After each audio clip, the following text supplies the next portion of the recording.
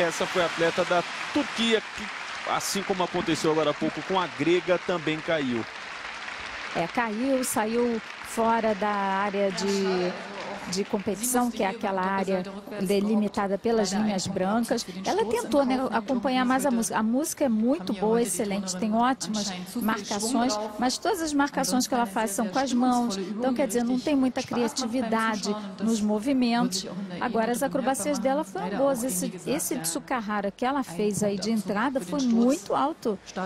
É um elemento com grau de dificuldade elevado, mas aí depois, olha o que acontece no duplo duplo grupado. Ela chega muito baixo, além de cair, ela ainda sai da linha branca ali. Então ela vai perder pontos por sair da área de solo também. Ela teve, fez uma expressão assim de uma tristeza na hora que ela caiu. É, eu estava comentando que eu sei muito bem o que é isso. Aconteceu comigo exatamente no duplo grupado no Pâdiga do Alahara. Eu entendo muito bem a expressão dela.